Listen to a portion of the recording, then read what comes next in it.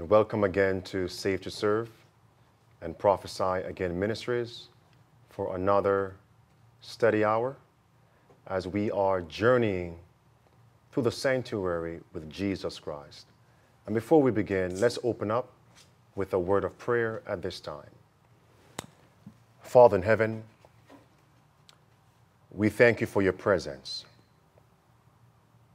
We ask for a double portion of your Holy Spirit to break us,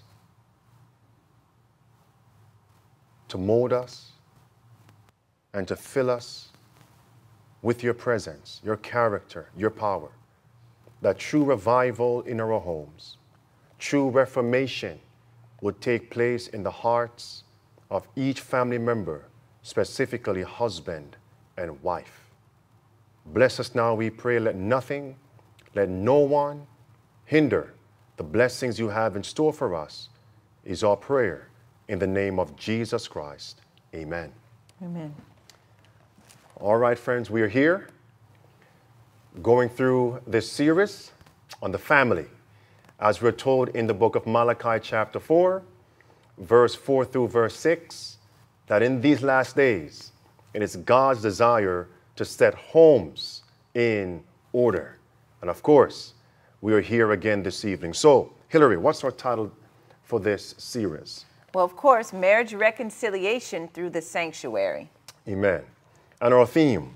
Our theme for this evening is What's My Role? Learn from Christ and His church or be spewed out. You know, friends, we have been receiving a number of feedbacks, number one, as well as just various questions.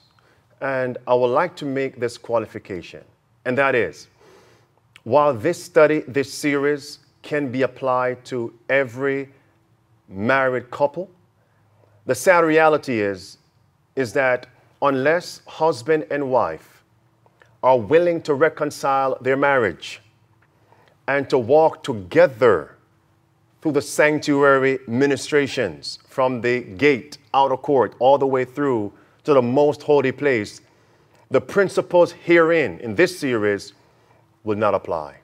Right. That's true. It will not apply to them as a couple because, as you said, both have to be willing to walk through the sanctuary together in order for reconciliation to take place in the marriage.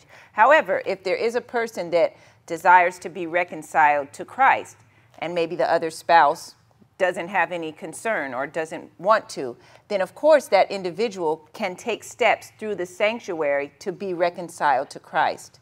And as we're going throughout this series, I realize that these principles are not only applicable to husband and wife, but also to young people, adults who are considering getting married.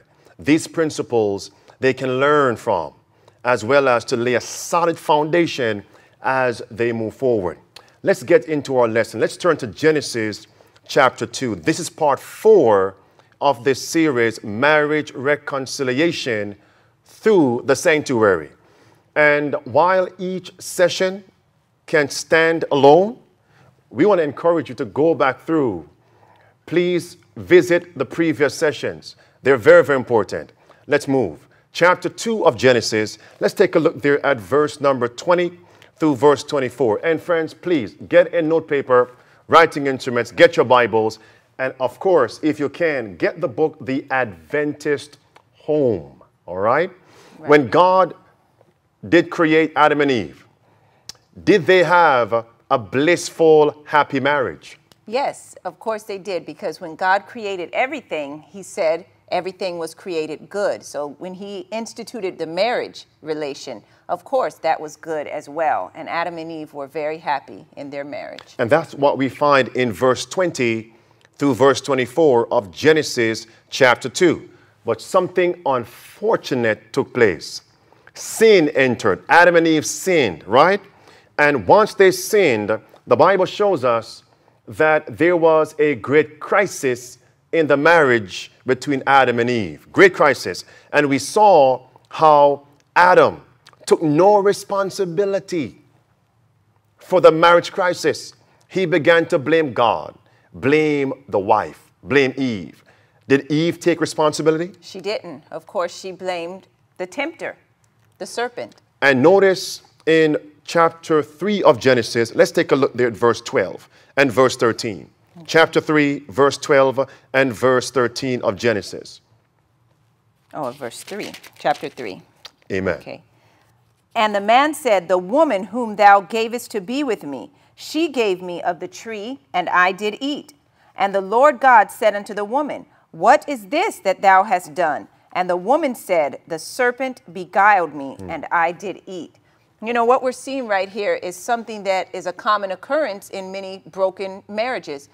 Uh, as you mentioned, neither spouse is willing to take responsibility Correct. for the degradation of the marriage. It's always the other spouse's fault. It's always circumstances. It's always the devil, as it were, Mm-hmm. without failing to take, I mean, while failing to take an introspect and see what am I doing to contribute, you know, to the deplorable condition of the relationship, of the marriage. And And- until we do this, there can be no solution. Amen. Let's take a look at the actual steps in the process of reconciliation between each of them, Adam and Eve, with God, and between Adam and Eve themselves as a married couple. Notice the first thing God did. In chapter 3 of Genesis, the first thing God did to work the work of reconciliation was to apply consequences. First thing, consequences to both Adam and Eve. Now, why do you think God, would- God did apply consequences to Adam and Eve? Adam, your work is going to be more difficult. Eve, in childbearing, it's going to be more difficult. Why would God apply consequences to Well, both? Of course, they both transgressed, but they also both contributed to the crisis in the marriage. Both were guilty. Both were guilty. responsible for the crisis. Look at number two. The second thing God did in reconciling Adam and Eve together and both to himself was to institute or establish, in part, the sanctuary service. Look at verse 21. Chapter 3, verse 21. And from this we realize, from the very beginning, when there was a marriage crisis between Adam and Eve, the first thing God did, second thing God did, was to institute, establish in part the sanctuary service. From this we derive, deduce the theme marriage, reconciliation through the the sanctuary. verse 21. Amen. Genesis 3. Unto Adam also and to his wife did the Lord God make coats of skins and clothed them. That's it. And an animal had to be slain, sacrificed, right? Right. And this is in part the sanctuary service, as we can see right here. Right here on the screen, we see the outer court, primarily of the sanctuary. And what was placed on that altar, the brazen altar, the altar of sacrifice? Mm-hmm, a lamb. Exactly. The sin offering. Right. All right. And as we are here in the fourth part of this series, where are our brothers and sisters, the married couples online? Where are they in respect to the sanctuary? Well, if they've been doing the homework and following step by step and applying the principles as we go forward, they're in the holy place at the table of showbread. Correct. Now, where does God want us as individuals and also us as a married couple? Where? In the most holy place. In that most holy where His place. presence is. And you know, God also showed um, the sacrifice as well in verse 15. Correct. The sacrificial system when He promised to put enmity. And of course, um, the head of the serpent would be bruised, while the heel of the sacrifice, which we know is Christ, the woman's seed would be bruised. So it's showing us that sin offering. And because of Christ's death, it made this reconciliation of Adam and Eve possible. Through where? The sanctuary, through sanctuary. Christ Himself. Right. And what I'm realizing is that many times when there is a marriage crisis and husband and wife, they want to reconcile, most of them, for the most part, they want uh, theories that are steeped in psychology, steeped in reason and, and, and opinions. But we realize the gospel is the wonderful simplifier of life's problems. The gospel, Yes. Ministry of Healing, page 363. And it is through the sanctuary, the gospel, the everlasting gospel, that Christ wants to use to reconcile husband with wife. The third thing God did in his work of reconciliation, number one, he reiterated the work he gave to Adam. Before sin, to Eve. Before sin, what was that work he gave them? Well, to dress and to keep the garden. And that's in verse 15, right? Let's read that. Genesis 2, verse 15. To dress and to keep the garden. And the Lord God took the man and put him into the Garden of Eden Correct. to dress it and to keep it. And after sin, was it the same work God gave to Adam and Eve? Yes. To dress same and work. to keep, but the work would be more difficult. And in verse 18, what work did God give to Eve? That she was to be a help meet for Adam in dressing and keeping the garden. So put this point down. The point here is to dress and to keep, correct? Yes. And what does dressing mean? To dress the garden. It means to till. That word dress means to till, to turn Plant. over, to mm-hmm. plant, to till. And the word keep means to what? To maintain, to preserve. To protect. So the ve- watch carefully. The very word God gave to Adam was not only to dress, to till, but also to keep, to preserve, to protect. And from this theme, we derive husband. And the word husband also really means what? House band. House band. House band means what? To keep, to mm-hmm. protect, to preserve what? The home. No, thank The you so much. Look at Adventist Home, page 211. The work of making home happy does not rest upon the mother alone. Fathers have an important part to act. The husband is the house band of the home treasures, binding by his strong, earnest, devoted affection the members of the household, mother and children, together in the strongest bonds of union. Now, watch this. His name, house band, is the true definition of husband. Now, for those of you who are local, can you read that last sentence with me?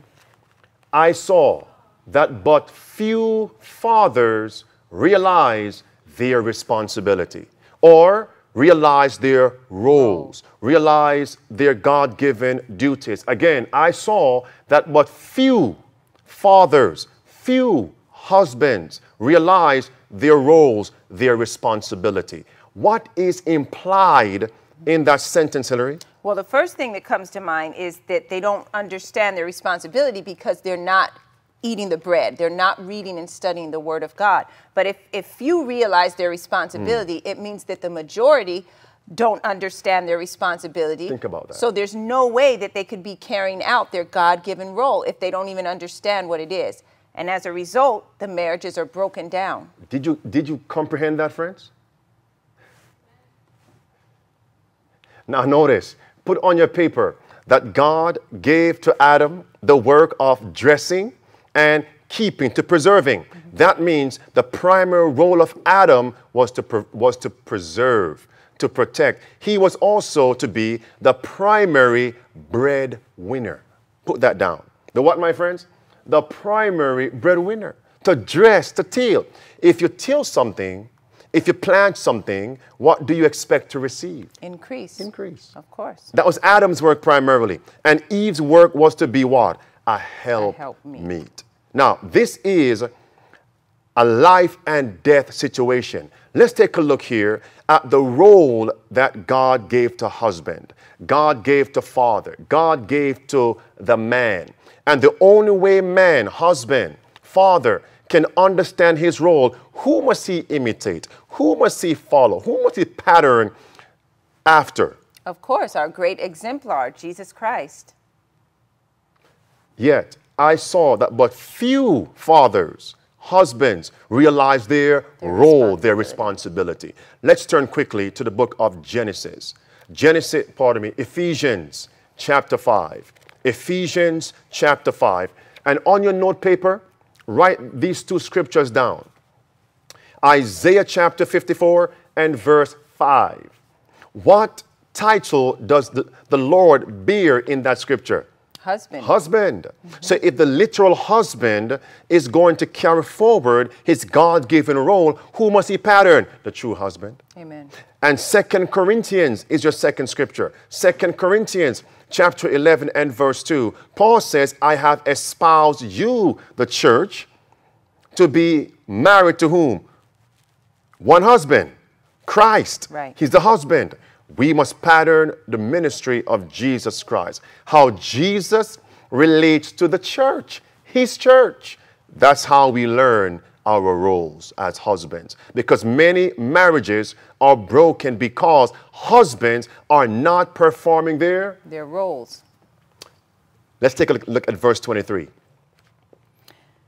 For the husband is the head of the wife, even as Christ is the head of the church, and he is the Savior of the body. Therefore, Okay, so what is his role? His- head. His, of- position? head of the wife. head of the wife. Okay? Let's take verse 25. Let's see. Verse 25. Verse 25 tells us now the husband must be the one to demonstrate, reflect Christ's love to his wife as Jesus loved the church. Read verse 25, Helery, for us. Husbands, love your wives, even as Christ also loved the church Yes. and gave himself for it. All right, love, right? Let's pause right there. And uh, how, which scripture clearly, with specific details, unfold love, the love of God, the character of God. 1 Corinthians 13.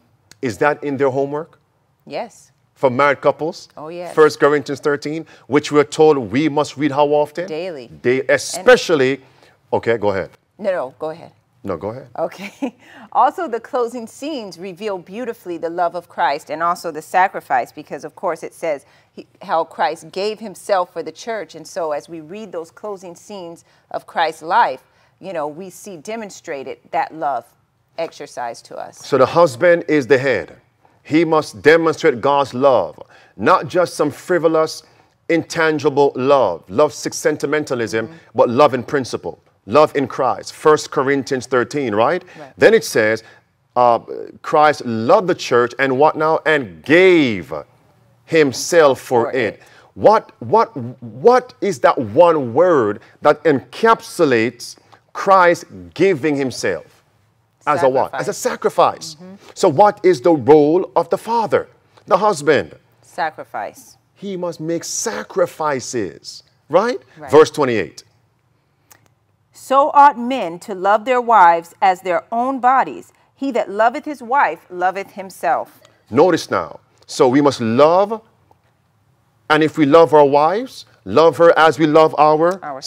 selves. Is that not a principle Christ laid out in Matthew 22, verse 38 through verse 40? What is the greatest commandment? Remember that? Mm-hmm. Amen? Yes. And Christ says now, number one, the first is love thy. the Lord thy God. Amen. thy And number two, the second is love thy neighbor as as, thy thy, as thyself. thyself. So love your wife as you love your Yourself. it's a life and death situation here, right? And Christ added, Love thy neighbor as I, Jesus, love you. Hmm. Because some people don't even love themselves.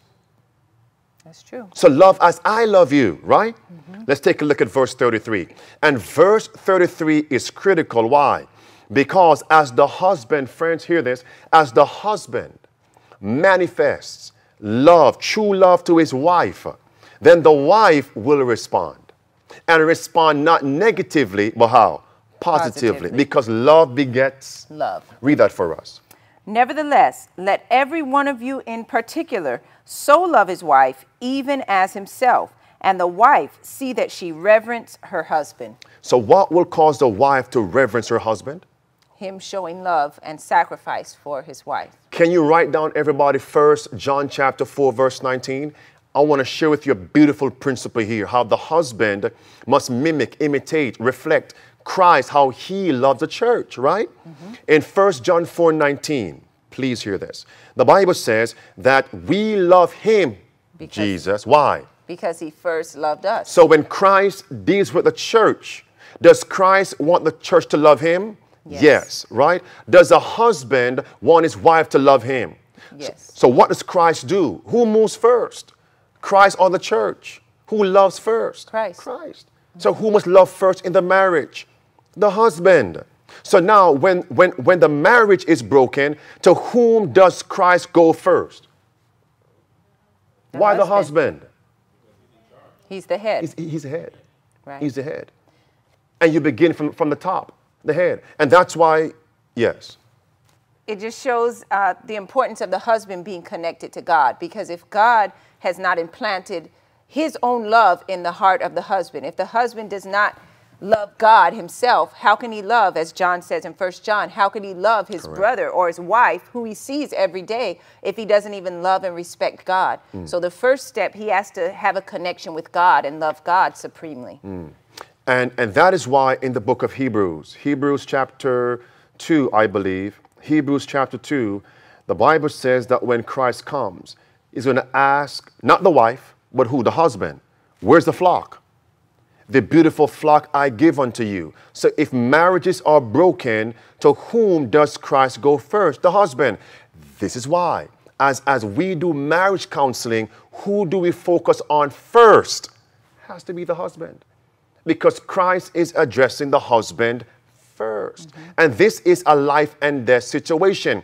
Many husbands want their wife to submit, their wives to reverence them, right? But they are not manifesting what like Christ? The love of Christ.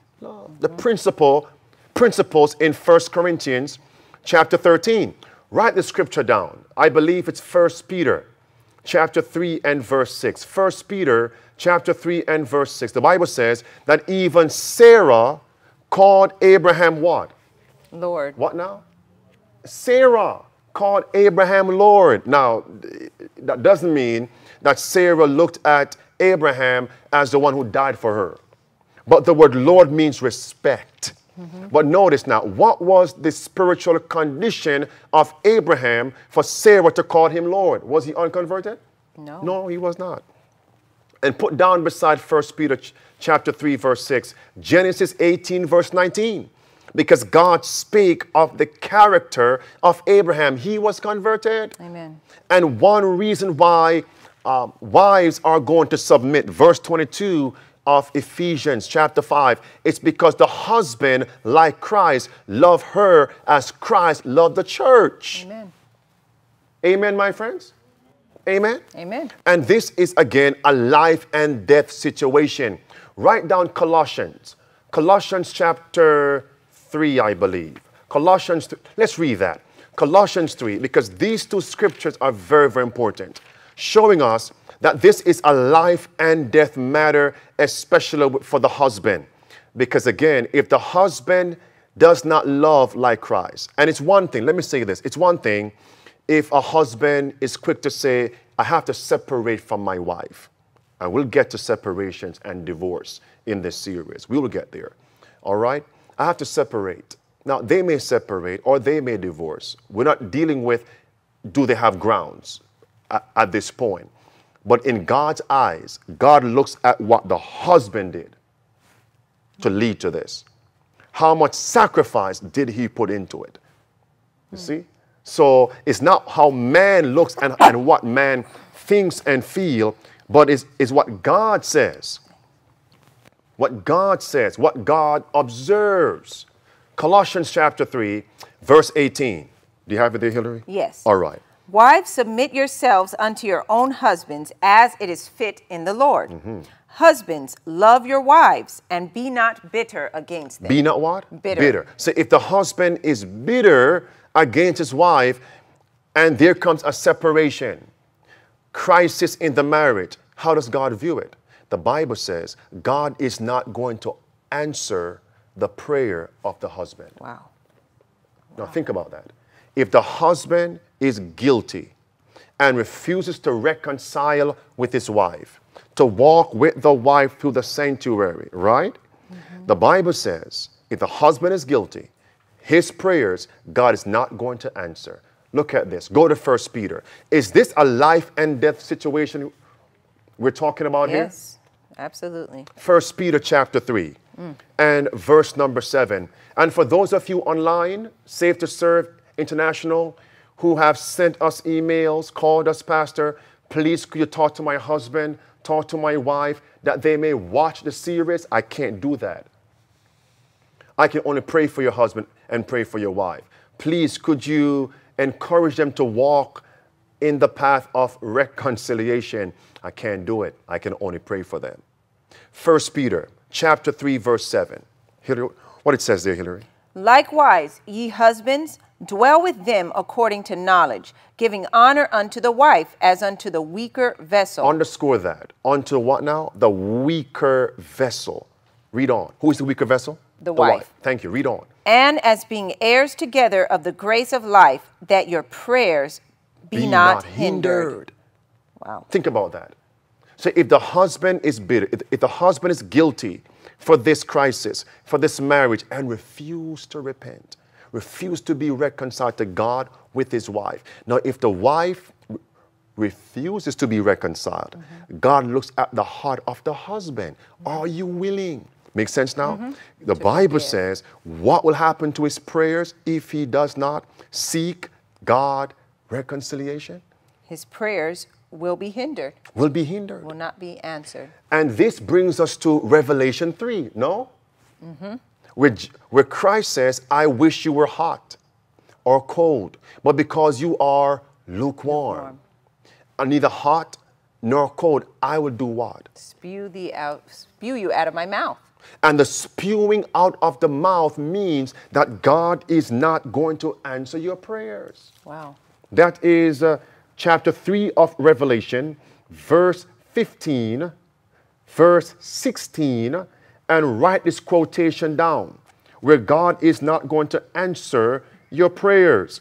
That is uh, Testimonies, volume 6, page uh, 408.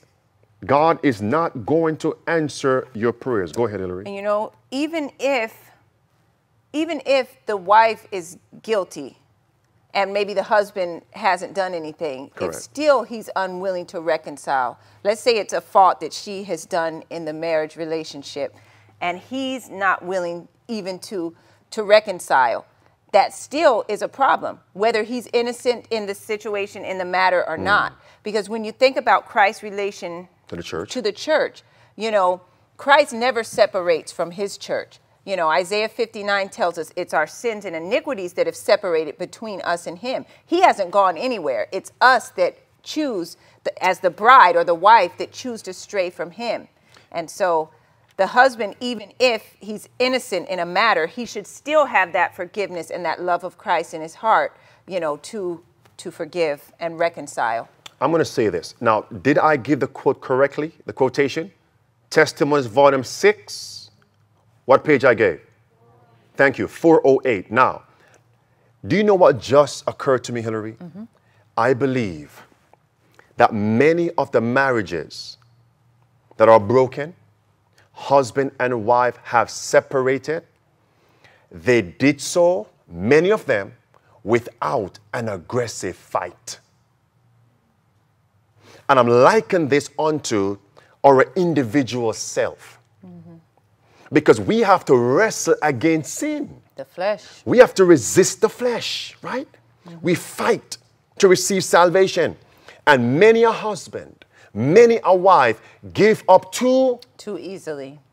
and they're too quick to say, I'm walking out. They're too quick to say, I'm leaving. And yet, many of them will tell you, no, we must wrestle against sin, mm-hmm. fight against sin. But when are faults and issues in the marriage, they give up too, Too easily. too, too easily. Wow. Go back with this, uh, with me. I was going to say with us. Chapter 5 of Ephesians. Let's look at another role God gave to the husband.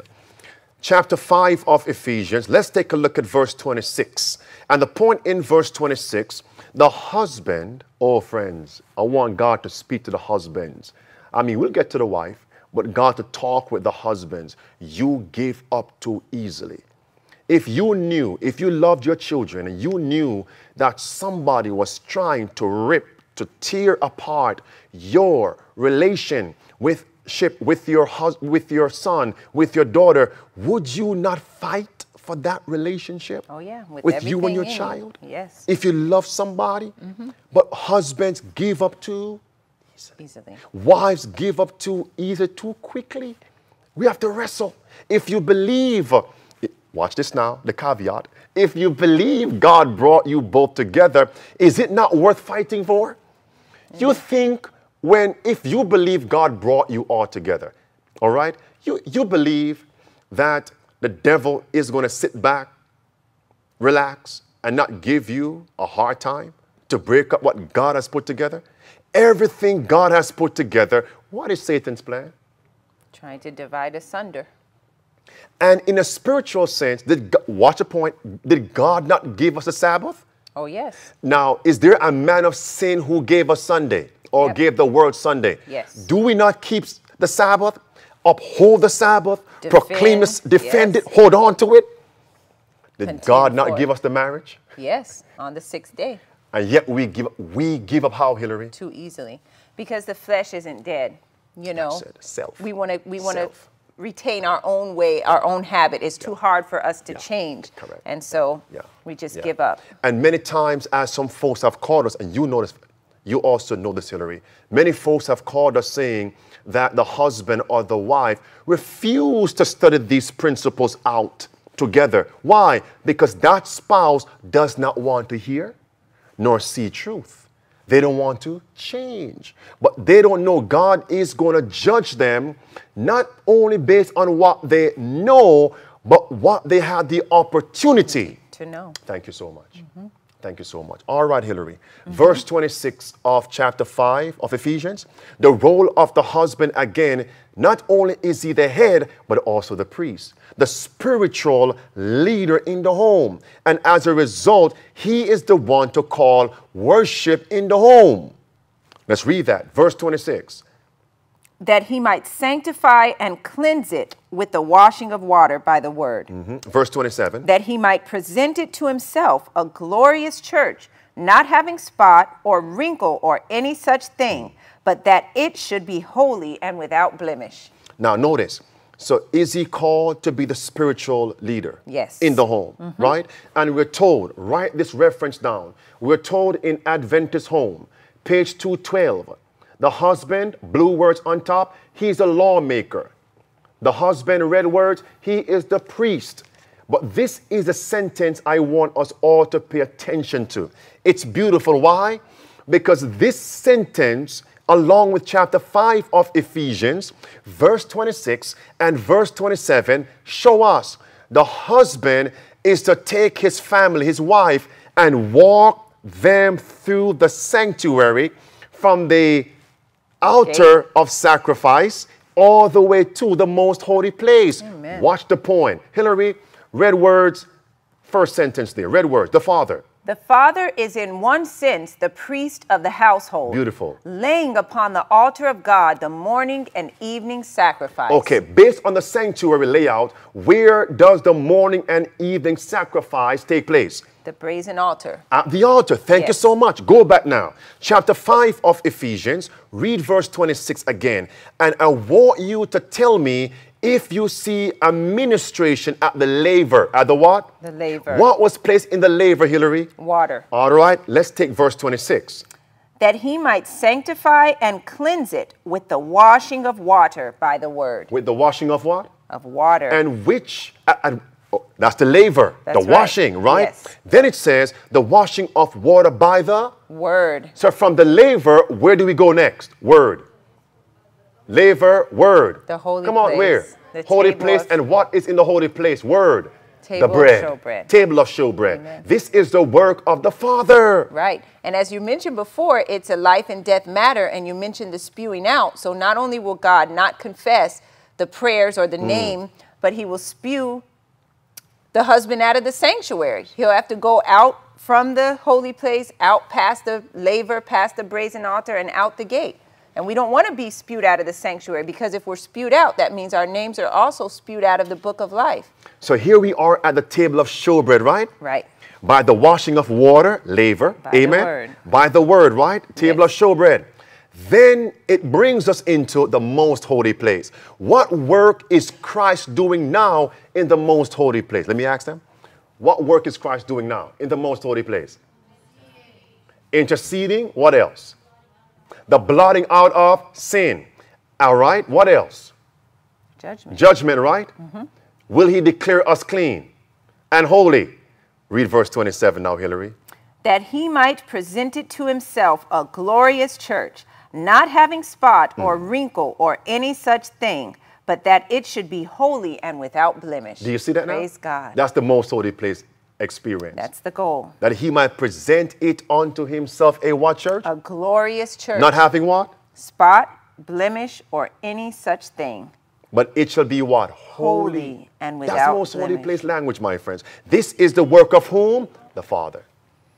That is his work. Now, I want you all to write down these eight principles now. Bullet points. Watch the point carefully. Number one, we see marriages being destroyed. And one of the reasons why the husband is not performing his God given role. Number one, he is overworking. And as a result, he gives his wife not enough attention, not enough affection.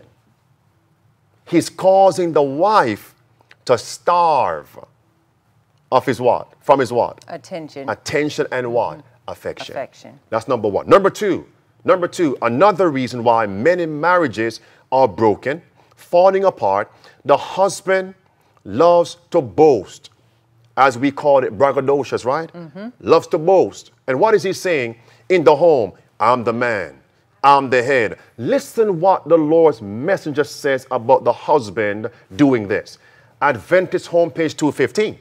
It is no evidence of manliness in the husband for him to dwell constantly upon his position as head of the family. It does not increase respect for him to hear him quoting scripture to sustain his claims to hmm. authority. It will not make him more manly to require his wife, the mother of his children, to act upon his plans as if they were infallible. Let's not read all of it. Skip on down. Red words. Let every husband who claims to love God carefully study the requirements of God in his position. Christ's authority is exercised in what? Wisdom, in all kindness and gentleness. So let the husband exercise his power and what now, Helery? Imitate the great head of the church. And that's what we hear of and see in some marriages. That's right. How the husband likes to boss around the wife. That is not the role that God gave to the husband. And a lot of times it's because the husband has a, a insecurity, a deep insecurity. And so to make himself uh, feel better or even look better or even look a certain way in the eyes of the wife, he, you know, goes on the other extreme. I'm the head. I'm, I'm this. You must do what I say. If, if you have to say that as a husband, something is wrong. Your wife must know that based on your tone, your words, your mannerism, your actions, right? As you manifest the characteristics of Jesus Christ. Mm-hmm. Next, number three, we see how many marriages fall apart because the husband is verbally abusive and physically abusive. Mm-hmm. And we will address physical abuse and what the wife, if she's the one, the victim, must do if this is what she is experiencing. Mm-hmm. But many marriages fall apart because of this. Yes. Now, does this mean there cannot be reconciliation? There can be reconciliation. If they're walking step by step through the sanctuary, if both are willing and obedient. Next, write this quotation down. Adventist Home, page 224. I want to ask you a question. Have you ever heard of see your father, see your uncle walk into the home and just begin to scold his wife why, why the food is not cooked? Why my meal is not ready? Sister White says this is not the work God gave to the husband. That's not his responsibility. Scolding, censoring his wife. Why? The meals are not ready on time. And the house is not kept tidy. When he doesn't even have sympathy with the wife or mother and what she has been going through since he left the house. Let's read this. Adventist Home 224, blue words. They frequently come to their homes with clouded brows, bringing no sunshine to the family circle. If the meals are not on time, the tired wife, who is frequently housekeeper, nurse, so mm. here we're seeing some of the roles of the mother, which Cor- we'll get to shortly. Correct. But uh, the tired wife, who is frequently housekeeper, nurse, cook, and housemaid all in one is greeted with, fault finding. That happens a lot. It's And- happening, yes. And a lot of times they come home with clouded brow because uh, whatever stress or burden they went through at work, a lot of times they just un- unleash it on the wife or the children and or the children. I want you to tell us locally and Safe to Serve online about this other issue that breaks up marriages when the husband acts like a boarder. What does that mean? Well, it means that he basically just comes and goes in the house, in and out of the house at whatever times, doesn't tell the wife where he's going, and he just basically comes there to sleep, to eat, and then he's gone again, you know, as if he's in a hotel. Could that be a healthy marriage? But do we not know, have seen marriages like that? Mm-hmm. Now, what do we do when we reserve a room at a hotel and actually stay overnight, two days, three? How do we, how do some people, some people treat the hotel room? Well, if they know that room service is coming, they're not careful to um, maintain or to, yes, you know, keep it tidy. And a lot of time, you know, if the husband is behaving this way, he comes in and out. He may use dishes or whatever, or you know, just leave things all over the place because he views the wife as That's the maid word. or the, the housekeeper. So he doesn't even try The to. slave. Yeah, the slave doesn't spend any time with her or the children if there's Correct. children in the home. Just comes and goes as he pleases. Look at this Adventist Home, page 217. It says, There is a tendency for the husband to feel free to go out and come into his home more as a A boarder than a husband of the family circle. Domestic duties. The context now. Domestic duties are sacred and important, yet they are often attended by a weary monotony.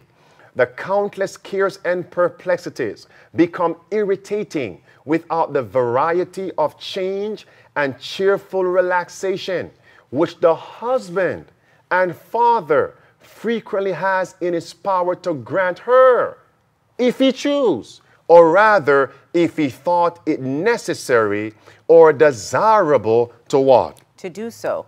And we read the fir- one of the first statements dealing with the role of the husband is to be a house band, binding the family together with ties of love.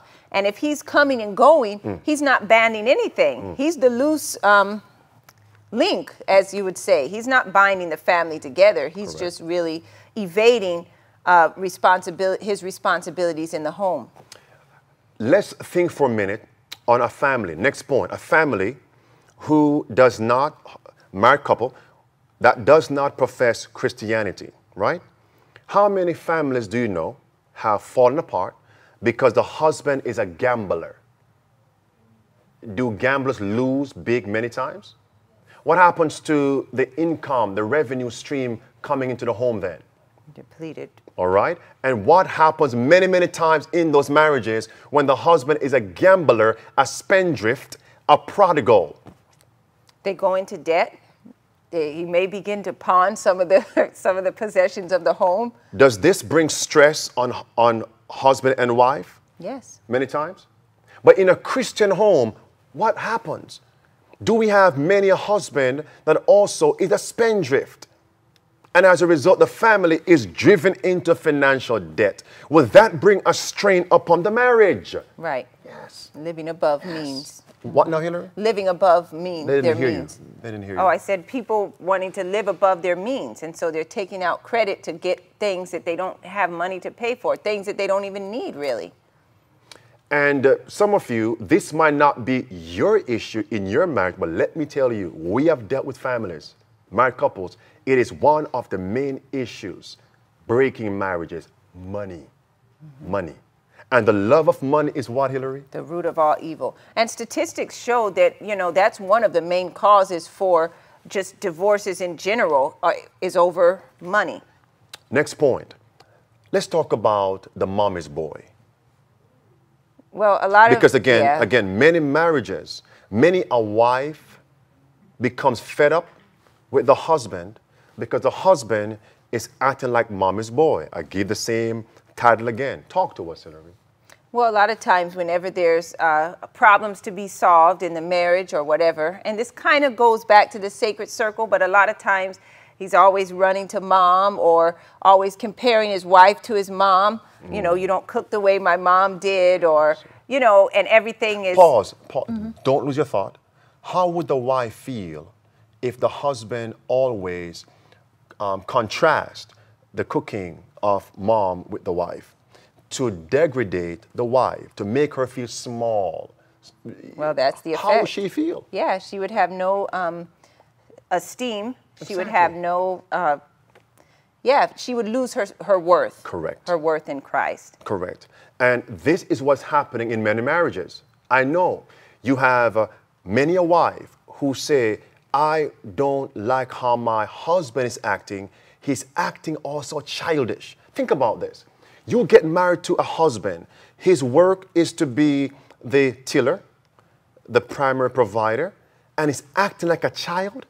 Do you know many marriages you find husbands acting childish? Yes, there are. And a lot of times the husband looks to the wife to be that mother figure. And so he doesn't exercise any problem solving skills or he doesn't use his mind, but it's just he wants her to make all the decisions, and he's supposed to be the head, the, the spiritual priest of the home, but he's always looking to wife to be a mother figure to him. And age isn't always a factor. Sometimes it may be if she's older, but even if even if she's not, we've seen it time and time again. He just does not want to grow up. And of course, they say that mm. you know women mature uh, quicker than men, but I mean that's the world. If you're walking in Christ, you know, you should become a new creature in Christ. So you cannot use that as an excuse.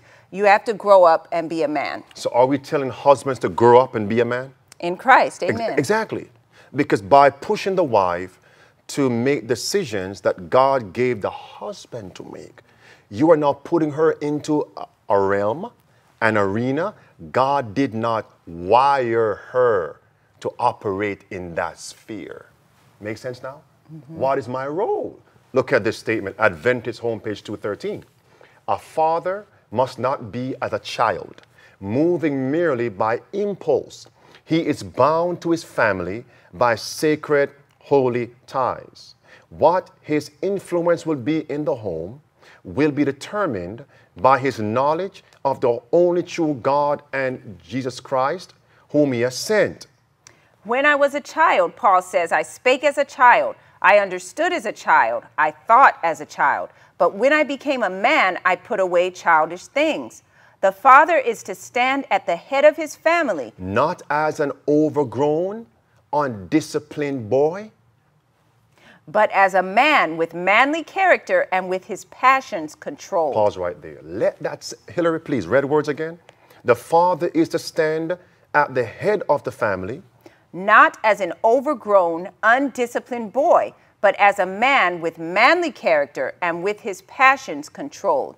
And of course, we're speaking to those who are walking through the Correct. sanctuary. So we're not Correct. even considering those, you know, in the mm-hmm. world or those mm-hmm. that are nominal no, and not no. in the sanctuary. But a lot of times you find um, men, and we're not bashing men because we're going to get to the roles of, of women as Correct. well and how they're responsible for breaking down marriages as well. But You'll find that they want to play video games. They want to just go out with other friends, mm. you know, and correct, maybe correct. Um, do sports and things like that. And unfortunately, you even find some of that among those that are professing to be yes. in present truth. Yes. And it's just inexcusable. And even though it may not be video games, they find some other outlet, you know, to exercise their immature-ish. Um, there, there's a, there's a family that we counseled, and the husband, the wife would complain that he would sit down and watch cartoons all day. If he could not go to work, stay home and watch cartoons. Hasn't grown up yet. And the same things he sees on cartoons, he acts out in the marriage. Tell me now, friends, would, would wives, would you tolerate that? How long? No, you would not. You're shaking your head saying, no, pastor. We would not tolerate the one who is called to be the head of the family acting as a boy. And even though that happens, the husband is guilty. Should the wife denigrate the husband and talk down to him? No. No. No. She should try to win him, of course. And, and we'll get to that. Let's go to another one. Who is called to be the primary breadwinner in the family? Who? The wife or the husband? The husband. God speaks to Adam, you dress, you keep the garden. Dress means to what? Till. Mm-hmm. So you get Work, increase. harvest. Mm-hmm. So Adam was to bring in the harvest. The wife is to help. How many marriages are broken, husband wife separated, because the husband refused to find employment? He's lazy. He's indolent. Right. He says, "Look, let the wife work and take care of me." And he and I know of a case where the husband, after he is reproved, he would act as if he's looking for a job. So he fills out application, goes on maybe one or two interviews, and then go right back to the same condition he was in before he was reproved. It's just cyclical. How many wives would sit down and tolerate that? Would you, wives? No, you would not. Right. And sometimes if he does find employment, it's very, very temporary. And so he may work for a month or two and then something happens and lose the job and it keeps happening and then until finally he he really doesn't want to work. That if you get down to the nitty-gritty, that's what it is. He doesn't want to work. And let's just say this. Number one, there are cases wherein times are hard, difficult to find job, and sometimes the wife, the woman, might be able to secure employment and not the husband at a specific time. They should come to an agreement saying, listen, honey, since you can find a job right now, employment, you go work, but I will keep looking aggressively, right? But she's working on it temporarily. Amen? And as soon as he finds employment, what must happen? Right? They must assume their roles that God has given them. Their God given roles. Mm-hmm. All right? But now we're seeing that husbands do not want to work. Husbands must pattern after Jesus. You go back to creation. When did God create Adam and Eve? Before he placed everything in order. in order or after? After. After. He put everything, first day of creation, second day, sixth day, when everything was put in order, then he created Adam and Eve. Family, right? Right. And notice, John 14, Christ says, I go to prepare a what? a place for you So as the husband, he makes ready the place for his church. first and then brings them to himself. And husband, now let's pause. So, what is God saying now to a man and a woman who are courting, desiring to be married?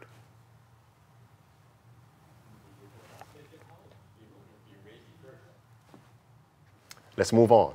Yes, and also when you look at in Bible times, uh, the man had to supply a dowry, you know, before he got married as well, to show that he would be able to take care of his Correct. family Correct. in the long term. And in Bible times, that father would not have allowed his daughter to be married to a man who could not provide.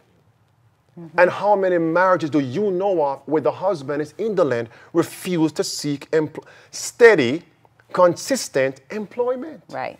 And we do have to make a, a disclaimer here that sometimes there are cases where the husband cannot work, Correct. disability or what have you. We're not dealing with those cases. We're talking Correct. about able bodied um, individuals that should be able to um, work. Now, what? So we covered the, the roles of a husband Mm-hmm.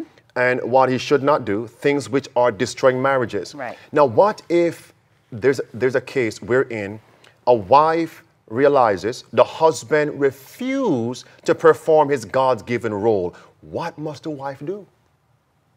Must Well- she play the role of the husband? What must she do? Talk to us, Sylvia. Well, she must get on her knees, of course, fast and pray and encourage him to, to you know, man up, as it were, to, you know, fulfill the roles that Correct. God has given him. Correct. Let's apply this first and come back to the church. Why, what is one of the reasons why women seek to become elders, pastors, right?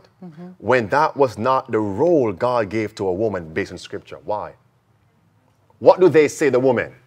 Well, the men aren't the men aren't doing their job in the church, right? They're not stepping up, or there's not Hmm. enough men, Mhm, or they're not doing it right.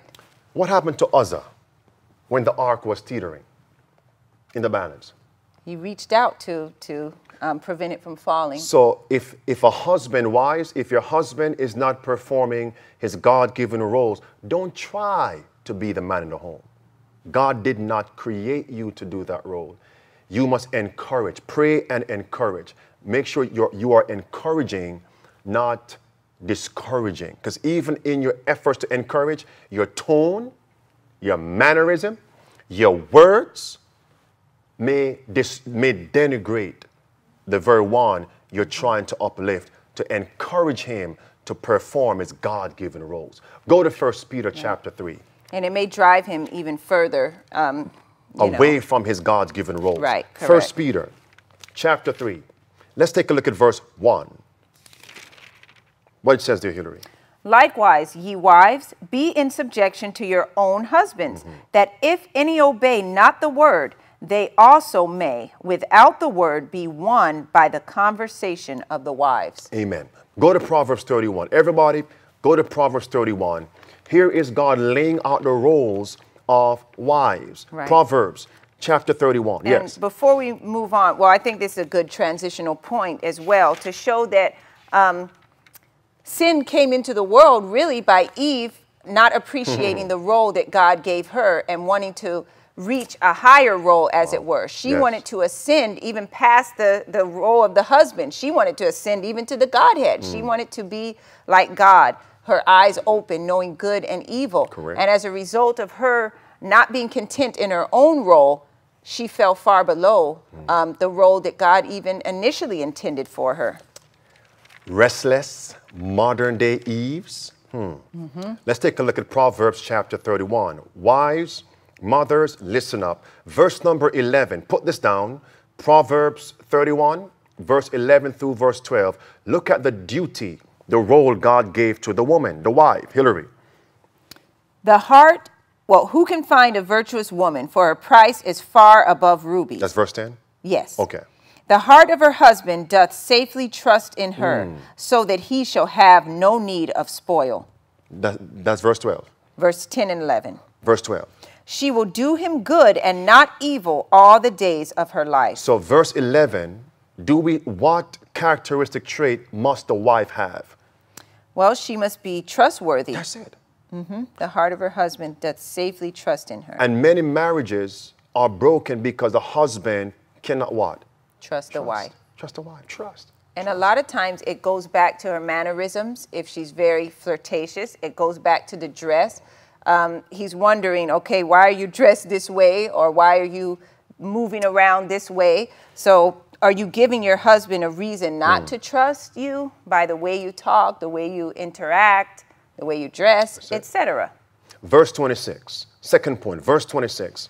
The role of the wife. Verse 26. The Bible says she must be converted. Yes. And her tongue, let's read that. Verse 26. What it says there, Helery. She openeth her mouth with wisdom, and in her tongue is the law of kindness. Hmm. so now what is in her tongue?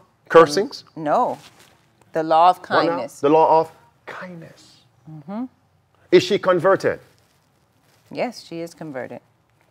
She openeth her mouth with wisdom. And we're told that the fear of God is the beginning of wisdom. Wisdom. And out of the mouth flows the issues from the heart. So if wisdom is flowing out of her mouth, then of course she has the wisdom or the fear of God in her heart. So she is converted. Come to verse 13. She seeketh wool and flax and worketh willingly with her hands. So is she idle? Not at Is all. she lazy? No. The duty of the mother is to work in the home primarily. Go to verse 19. She layeth her hands to the spindle, and her hands hold the distaff. Verse 27 now. She looketh well to the ways of her household, And what? eateth not the bread of idleness. So is she idle? no. No.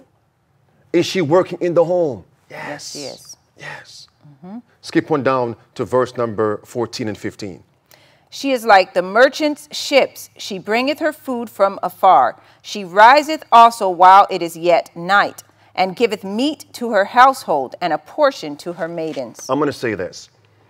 It was strange to me especially growing up in my, let me pause right there. Based on my background history, it was very strange to me as I began to counsel with married couples that I found out that many a husband and wife have separate bank accounts. They're married, but the husband doesn't allow the wife to have any uh, credentials mm-hmm. for that online account. Hmm. Verse 14, verse 15 says what now? What's her role?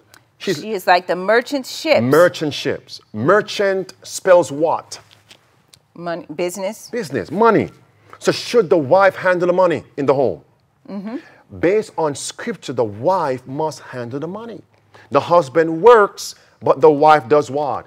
Handles the money. Now, if your wife is not as industrious as the husband, it's the husband's duty to train the wife Right.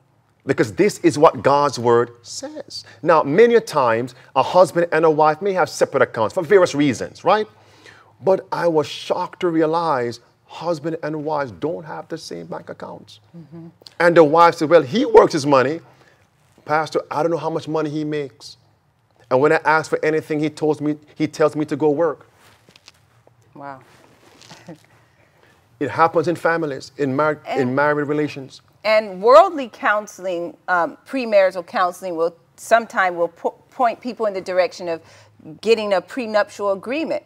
So they have this this idea that if something should happen in the marriage, you know, I have mine secured and you Hmm. Oh, have yes. your money Oh, secured. So they go in with it thinking that this isn't going to work out, and just in case it doesn't work out, Correct. you know, And as a result, this series is not for those people, are for people who are walking in the sanctuary, through the sanctuary, seeking not their own way, but God's, God's way. way. Thy way, O Lord, is in the. Is in the so when we come to God, whose ways must be put aside? our ways. And that's why we don't start with the issues, the bread. We begin in the courtyard. Adventist hmm? homepage 378. Blue words. Well, from top. You must help each other. Do not look upon it as a virtue to hold fast. Husbands, listen. Do not look upon it as a virtue to hold fast the purse strings, refusing to give your wife money. So, what is he doing? Withholding. Now, is he selfish or is he kind? Selfish. Is that love? No, love is kind. Amen. Amen. Look at this now. You should allow your wife a certain sum weekly and should let her do what she please with this money. Right. You have not given her opportunity to exercise her tact or her taste Watch this. Because you have not a proper realization of, Of the, the position, position. that a wife should occupy So, what's her position then? What's her role? to be able to manage money. Your wife has an excellent and well balanced mind. Now, just as we said, if the husband is not playing his role, what must the wife do? Encourage him. So, if the wife is not as industrious as the husband, what must he do based on God's bread? You must encourage her likewise. Give your wife. Blue words, Helery. Give your wife a share of the money that you receive. Let her have this as her own and let her use it as she desires. She should have been allowed to use the means that she earned as she hmm. as she in her judgment deemed best. If she had had a certain sum to use as her own without being criticized, Criticized. a great weight would have been lifted from her mind. And we're not talking about unconverted people Correct. here that would just go out and just splurge and just buy foolishness, Right. vanity. Correct. You know, Correct. If since the wife is called to manage things in the home, Correct. She knows the necessities of the home. She knows what groceries are needed in the home. Correct. And so by her having this money, she's able to appropriate the funds where needed. Correct. If Is- the children need things or Correct. what have you. Correct. If I'm on the road, for example, and you're at home, and you say go to the, you know go to the store, I don't know what to buy. Why? You run. That's your sphere, right? Amen. Amen. So that's why we have to allow. You're not certain. You certain? Yeah. All right. Amen. All right. Amen. Amen. So it's the wife's duties. And let me say this. Let me say this. Let me say this. Let me say this. Many, many times, hear me. This is why God's word do not encourage young people getting married who don't have life experiences. Many a wife does not or was not trained in the domestic affairs of the home. What are Amen. they? What are they? Well, cooking, Cleaning, ironing, Sewing, sewing, all- every, baking bread, all of that, all of that. Managing money, right? right. So what must the husband do? And if he know, if he's more experienced, what must he do? Encourage. Encourage. Not speak down. And if they are not converted, yielding to uplift each other, it's going to bring a crisis in the marriage. That's right. Understand this now. Let's go spiritual. If you knew a brother was uh, on his way out from Christ, but really desiring to follow Christ, would you not give all to see that brother be drawn closer to Christ? Oh, So if your wife has been given God given duties, but she was not trained by her mother, how many of you know mothers who petted, pampered, shielded their children, their daughters, and did not educate them, train them in domestic affairs? How many know them? Yes. And they get married at, put your hand up, and they get married at a tender age, right? Tender like, like what, 20, 21, 22. Just out of college. yes. Yeah, and I mean, I'm going to be transparent. I'm one of those, one of those people because, Dwayne, cut. no, but in a lot of American households, um, and the parent, this is not to fault the parents because they are doing, you know, what they thought was best at the time. They think, okay, it's your responsibility as a young person to go to school, to make good grades, That's so true. you could get a That's good true. Mm-hmm. job, and we'll take care of, you know, we'll take care of you while you're in school. Just focus, Correct. maintain your GPA, and Is this the truth? yeah. Now, can't you stop talking now? So then, when they get ready to get married, Correct. you know, they're not. They may have, you know, a, a 4.0. They Oh, may know book knowledge and everything, but then when it comes to the practical life skills, they have to learn those things, and Correct. it's it's very difficult because they did not come up learning them. Correct. Let's go now. Back to Proverbs 31. 31. Let's take a look at verse 16. Mark these verses, verse 16 through verse 22 and verse 24. The duty of the mother, the wife, is missionary work. But missionary work where first? Well, primarily in her household. How many wives or mothers slash mothers are running from their first duty? A lot.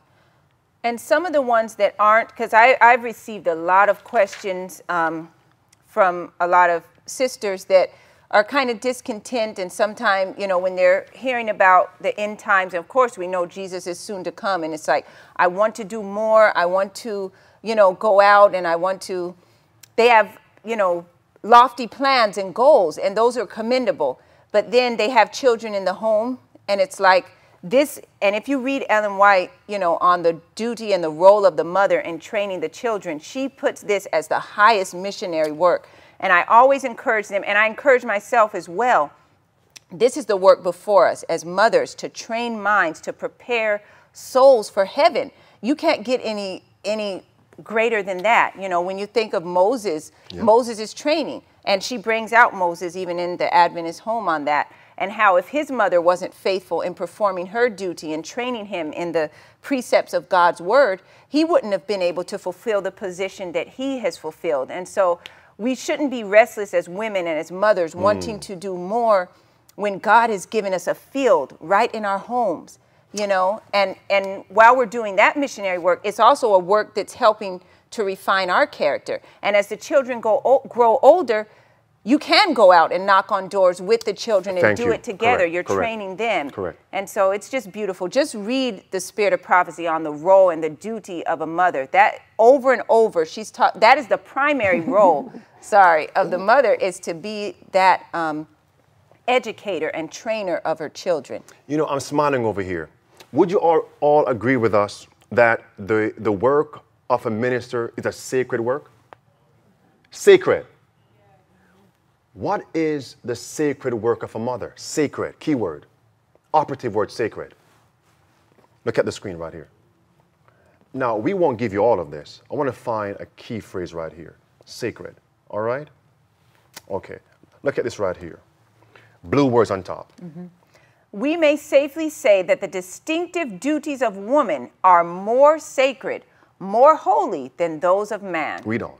Let woman realize the sacredness of her work and in the strength and fear of God take up her life mission. So we see that as God called men to a sacred work in the pulpit, mothers are called to a sacred work where? In the home. But many a mother lay aside her true sacred work for which work? The man's sacred work, and that mm-hmm. was not what God called her to do. Red words. Amid Amid all the activities of life, the mother's most sacred duty is to, to her children. But how often is this duty put aside that some selfish gratification may be followed? What an important work. Thank you. Let's go to verse 23.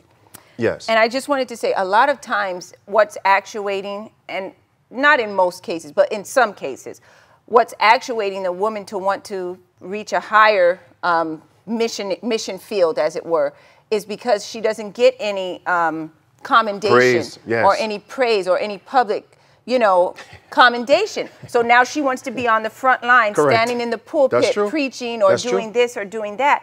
But the motive isn't souls, the motive is self. So we really have to examine ourselves and our motives and take up the duties that God has given us and be content and fall on our knees and ask God that we might be able to fulfill that sacred mission.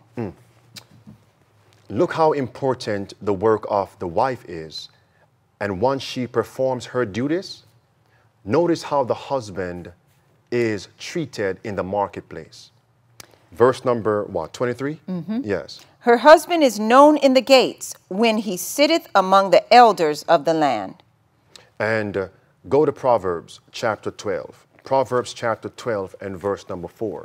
So, because the, the wife performs her God given duty, how is the husband treated? He's respected. respected. Mm-hmm. That means many times people lose respect for the husband by the lack of the wife doing her God given role. Wow. Hmm. Let me say it this way Do you know you could have an elder in the church? Hello? A deacon in the church? A pastor in the church? Male, figure now. But what the wife does, how the wife speaks to other people, how the wife dresses. The people in the church lose respect for whom? The deacon, mm-hmm. the elder, the, pa- the husband of that wife. Right. Does it make sense, friends? Yeah.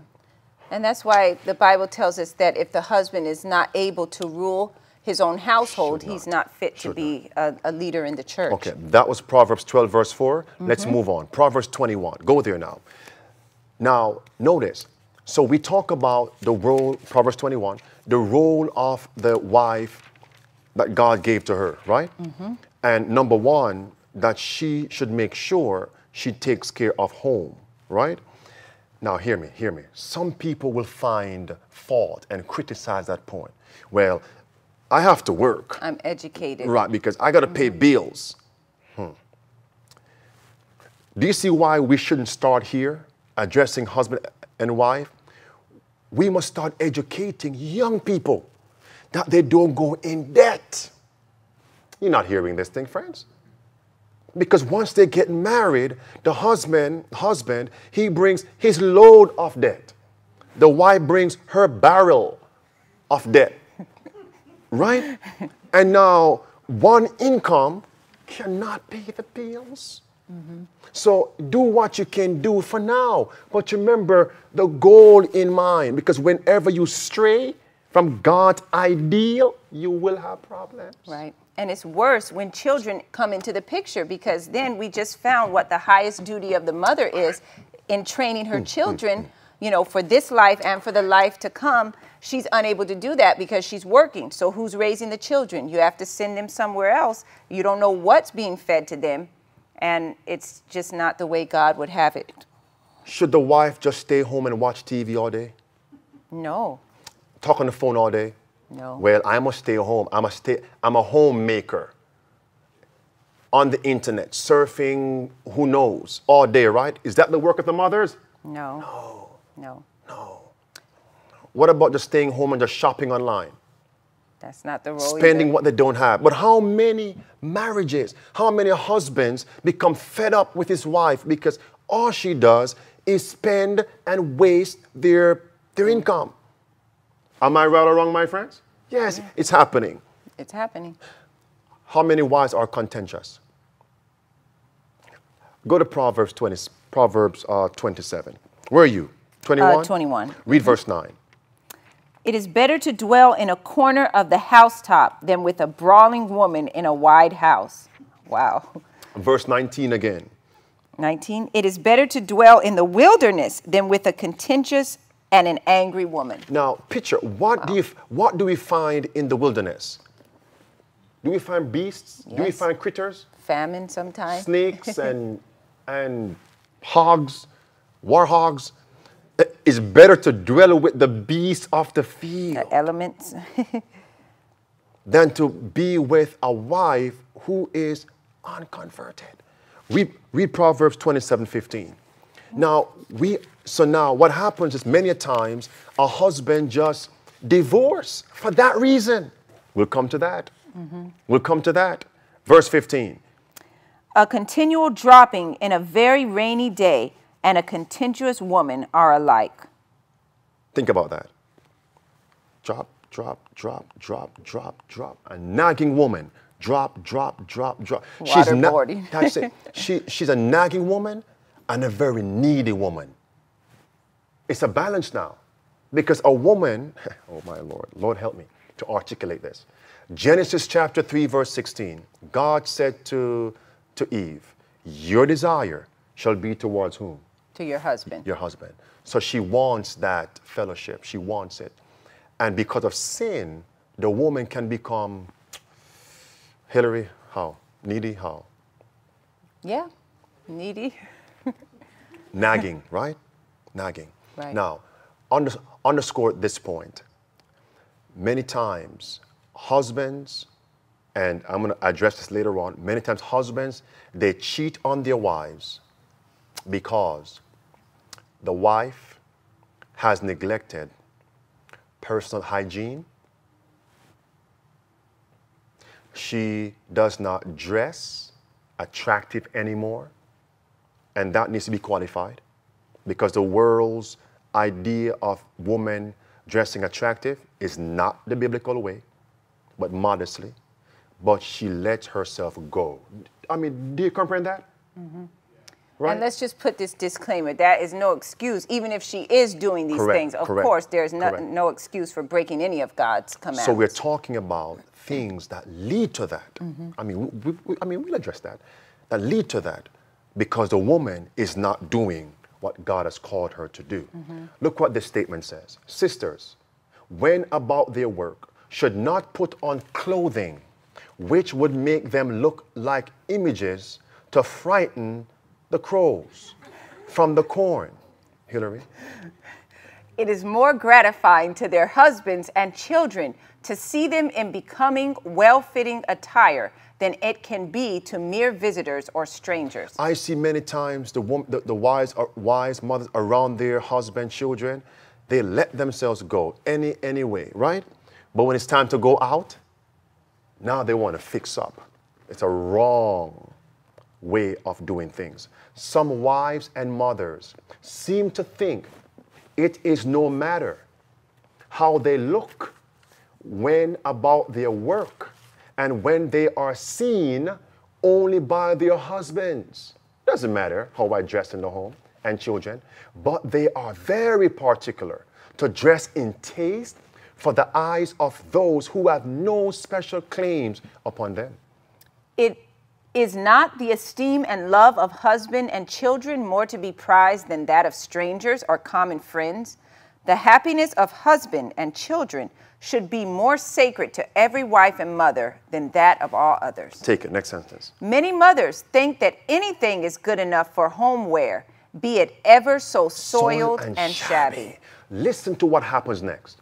when the wife, the mother dress with soiled clothes and shabby, um, refused to brush her teeth, refuse to comb her hair, wake up in the morning, don't wash her face. I mean, this happens. Don't bathe. Don't, don't bathe.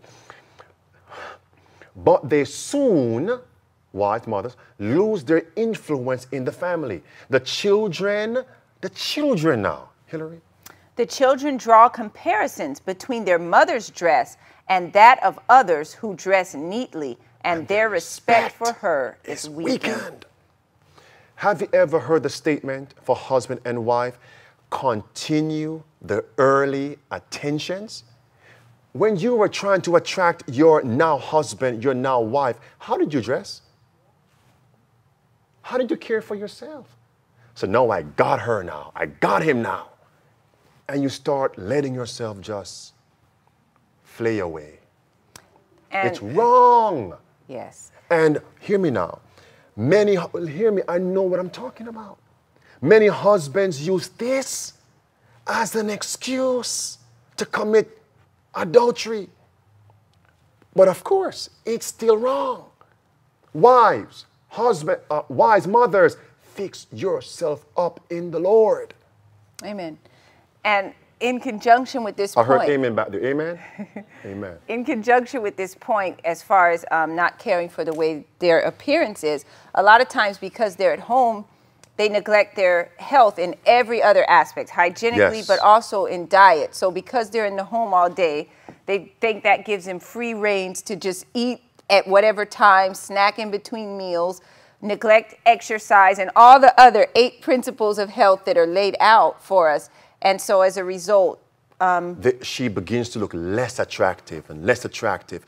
And of course, beauty is not, is not in the appearance, exterior. Beauty is in the heart.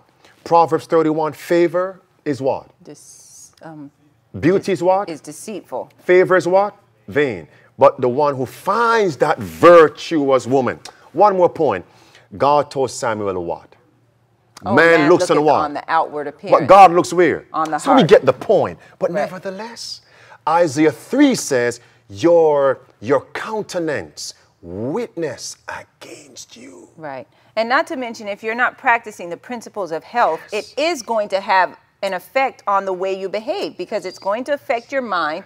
It's going to affect the way you interact. If you're intemperate and neglecting hygiene and all the other things, you're going to be impatient. You're going to not exercise the fruits of the Spirit. So they're all connected, interconnected. In closing, let's say this. Put this point down. It is not the role of the husband or the wife to submit himself, herself to the lustful appetite of the spouse in the area of sexual intercourse. Do you hear me? Did you hear me? We're closing here. And I doubt we'll be able to unpack this because many times, you know what? Go to 1 Corinthians 7. Go there. 1 Corinthians 7. Go to 1, 1 Corinthians 7. This is another scripture, like last week, many a husband, many a wife take out of context. It is not the role of the husband to think that the wife is just his tool, or the wife to think that he's just her tool. That whatever lustful appetite, passion they have for the bed, anytime, anywhere, however frequent, you must just be at my disposal. Hmm. It is not the role God gave to husband, God gave to wife. Watch this, watch this. Verse 4. Uh, let's take it from verse number 4. Okay. The wife hath not power over her own body, but the husband. And likewise also the husband hath not power over his own body, but the wife. Go to verse 6, Helery. Okay. Uh, I think we have to read verse 5. Yes, verse, yeah, verse 5. Defraud ye not on the other, except it be with consent for a time, mm-hmm. that ye may give yourselves to fasting, and and prayer. and mm-hmm. come together again, that Satan tempt you not. Correct. For your in, con, incontinency. Mm-hmm. But I speak this by permission and not of commandment. So many a husband say, You see, the Bible says, I own your body. So whenever you get the point, right? And you'd be surprised how many folks we have counseled with, and a husband would say, or husband mainly would say, My wife holds back from me. And when, you have to pray when you enter some of these counseling sessions because many times you'll find even husband and wife, they want to sit there and watch pornography to carry out their lustful passions, animal propensities. Let me tell you something. Let me tell you something. This is causing many a husband to one commit adultery. Why? The wife won't give in. Divorce, versa. Mm-hmm. or vice versa. Mm-hmm. Or if if the spouse doesn't want to give in, right? I own your body, give it to me. Doesn't want to give in. If it's not adultery, if it's not divorce, then they begin to have self abuse, masturbation to please, to get rid of that, that, that desire, right? And number, number four, you see them also watching those movies themselves to gratify themselves because the spouse refuses to give in. Now, does this mean that they are justified because a spouse doesn't want to give in? And we're going to cover some things, my friends. Pray, pray that God reconciles some marriages. Watch this statement here. We're going to close right here because we can't cover this part, but it deals with the roles. The husband thinking, I own your body. The wife thinks, no, I own your body. Whenever I want it, how, however much, give it. Or Excess, however. Intemperance. Mm-hmm. All right, page 123, Adventist Home. It is, go ahead, Helery. It is not pure love which actuates a man to make his wife an instrument to minister to his lust. It is the animal passions which clamor for indulgence. How few men show their love in the manner specified by the apostle, even as Christ also loved the church. and gave himself for it that he might not pollute it, Sister White says, but sanctify and cleanse it, that it should be holy and without blemish. This is the quality of love in the marriage relation which God recognizes as holy. Love is a pure and holy principle, but lustful passion will not admit of restraint and will not be dictated to or controlled by reason. It is blind to consequences. It will not reason from cause to effect. Wow. Page 124. What is the result of giving loose rein to the lower passions? Watch this. The bedchamber. And we're going to, friends, by God's grace, we will uncover those scriptures in their right context. The bedchamber where angels of God should preside is made unholy by unholy practices. Not only excess now, but certain practices Right. should not be found in the marriage. And many a spouse say, no, no, no, I like those practices. Right. The bed is undefiled. They'll use scriptures like that. Marriage is honorable. And if the spouse says no, then th- that spouse go find it somewhere else. Even watching things or self-abuse. Watch this. And because shameful animalism rules, bodies are corrupted. Loathsome practices lead, loathsome practices lead to what, Helery? Loathsome diseases. That which God has given as a blessing is made a curse. Sexual excess will effectually destroy a love for devotional exercises, will take from the brain the substance needed to nourish the system, and will most effectively exhaust the vitality. No woman, that's yours, Helery. No woman, no woman. No woman should aid her husband in this work of self destruction.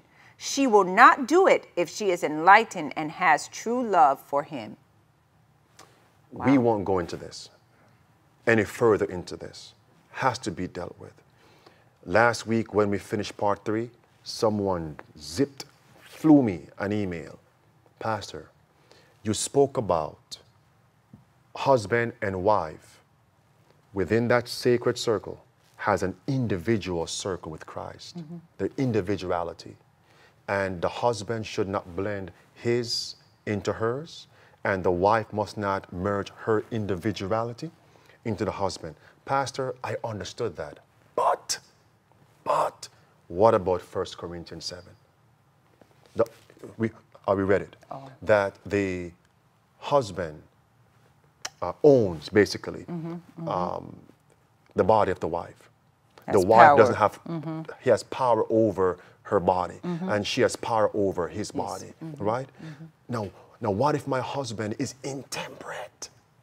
And because I refuse to give in to his intemperance, or vice versa, that's why, Pastor, he's doing those things adultery, etc. The question is, is he walking through the process of reconciliation through the sanctuary? So, friends, we, we, we don't know everything, but we have heard and seen and counseled many a family to know these things are destroying marriages. Reconciliation can be done if both are willing. So, what can we close on until we come back next week, Helery? I want to close on Galatians 5 because husband and wife must manifest the character of Christ, play that role. Yes. And they must demonstrate the fruit of the Spirit. What's the last fruit? It's called faith, right? And mm-hmm. before that one is a thing called intemperance, love. You have it there? Verse Yes. 22. And the what now? But the fruit of the Spirit is love, joy, peace, long suffering, gentleness, goodness, faith, meekness, temperance. Temperance. Against such there is no law. The last one is what? temperance. Foundation. We'll come to that. Because many marriages are being destroyed because of what? Intemperance. Friends, we can't cover everything. We want to refer you to Adventist Home, the chapters, section 9 and section 10. Section, no, not page, section 9, section 10. The roles, responsibilities And can I of also- husband and wife. and wife. And I also want to add also that um, when you read Adventist Home, because it is a compilation, there are original um, Statements. s- sources, yeah, statements where from whence those particular passage were extracted from. So if you want to go even deeper, which we encourage you to, look where that um, excerpt was taken and go back to the original um, book and read it in its entirety. Father in heaven, we thank you for your words this evening and for what we have covered. Lord, save these marriages. It's your will. It's your will to reconcile us unto yourself, to break the hold of Satan upon us individually. It's your desire to break the hold of Satan over our marriages. Husbands, wives, give up too quickly, give up too easily. Let's fight for what we believe you have put together. And even if, as we have read, some, a few marriages were done by mistake, God can still bring a blessing out of it. Keep us faithful until we meet again, is our prayer. In the name of Jesus Christ, amen. Amen. All right, friends, I want to thank you again for joining us this Thursday for our session here. And by God's grace, we will resume on next Thursday at 7:30 p.m. This coming Sabbath, you may join us for worship at 11:30 a.m. Eastern Time. God bless until we meet again. Maranatha.